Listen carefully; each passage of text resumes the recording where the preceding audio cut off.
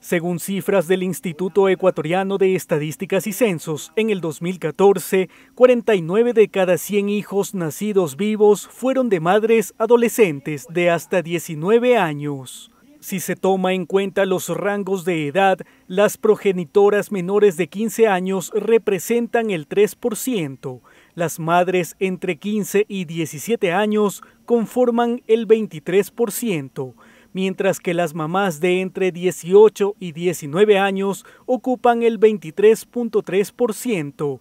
Según el informe, en total, 12 de cada 100 adolescentes de 12 a 19 años son madres.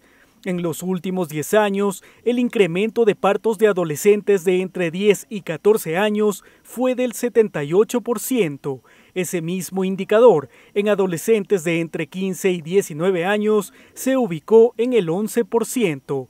Las cifras también revelan que 49 de cada 100 mujeres que son madres en el país tuvieron su primer hijo entre los 15 y 19 años. Según datos del Ministerio de Salud Pública, en Ecuador se registraron 413.318 nacidos vivos de niñas y adolescentes de 10 a 19 años. Las cifras corresponden al periodo entre los años 2010 hasta el 2016. Informó Javier Cueva para RTU, el canal de las noticias.